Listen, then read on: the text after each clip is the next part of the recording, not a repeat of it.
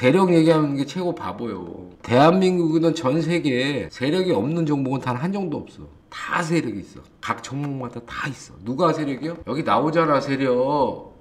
이름 알 이름 보여줘 세력이 누군지? 얘가 세력이야. 알겠슈? 어? 얘가 세력이요. 뭐 세력이 있다니 이런 소리 하는 게 최고 바보요. 알았죠? 다 있어 다. 테마 다 있어. 전 종목이 다 있다. 테마는 테마는 테마는 내가 매, 만들고 싶은 대로 만들 수 있다 없다? 만들 수 있다. 내가 예를 들어서 사- 어 얘가 고려 시멘트가 자율주행 테마 타고 싶다? 탈 수 있다. 얼마든지 내가 할 수 있다. 있다 없다? 있어. 왜? 자율주행 회사 지분 좀 인수해 버리면 돼. 그럼 테마 타는 거예요. 테마는 내가 그 시장에 내가 마음 먹고 올리려고 그러면 테마는 마음대로 만들 수 있다. 여러분들, 응? 아셨죠? 부동산은 뭐요?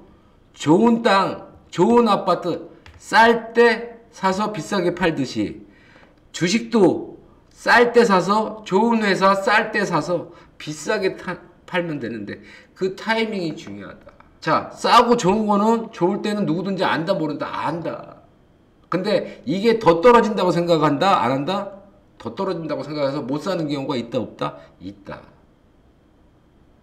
그때가 타이밍인지를 모르고 그럼 올라가면 더 올라간다고 생각하고 사다가 실패 보는 경우가 있다 없다? 실패 보는 경우가 있다.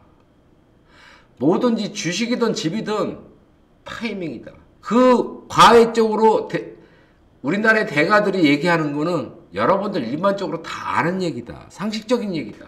그 상식을 모른다? 안다. 그 20% 20점밖에 안 되는 상식적인 얘기를 갖고 나 대가라고 떠든다? 난 욕한다. 다 아는 얘기다. 최고 중요한 거는 얘가 최저가인지 얘가 최고가인지 이거를 정확하게 찝어줄 줄 아는 사람이 그게 대가다. 아시겠습니까? 대가라고 좀 나오지 좀 마. 씨 그냥 확 뭐 얼마 100억을 벌었나 150억을 먹었다 200을 먹었다 이씨 아, 나도 벌었어 과거에 그런 소리 좀 제발 어?